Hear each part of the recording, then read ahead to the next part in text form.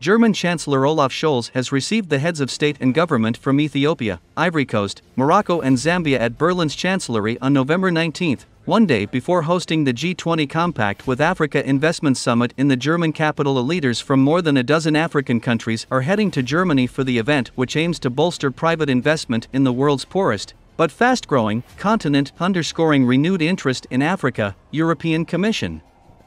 President Ursula von der Leyen, French President Emmanuel Macron, and Dutch Prime Minister Mark Rutte will be among those attending the summit in Berlin, according to German government officials. The Compact with Africa, which was created in 2017 under the German G20 presidency, aims to bring together reform minded African countries, international organizations, and bilateral partners to coordinate development agendas and discuss investment opportunities.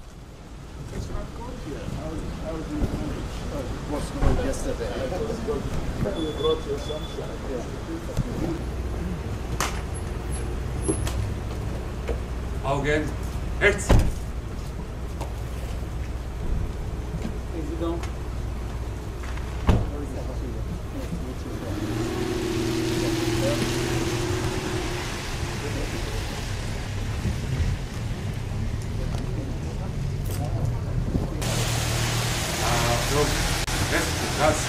Ja.